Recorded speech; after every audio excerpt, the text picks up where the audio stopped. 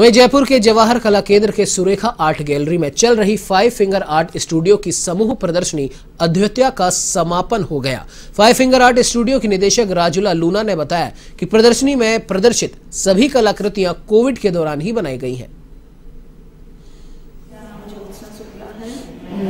हमने जवाहर कला केंद्र में अभी एक ग्रुप एग्जीबिशन की है, सुरेखा गैलरी में, जिसमें नाइन पार्टिसिपेंट हैं। और इसमें 44 पेंटिंग्स एग्जिबिट हुई हैं जिसमें से मेरा काम भी डिस्प्ले हुआ है यहाँ पर।